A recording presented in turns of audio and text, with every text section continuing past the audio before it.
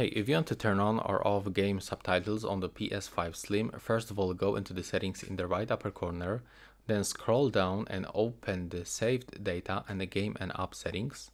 From here go to the game presets and here scroll down until you locate the subtitles and audio.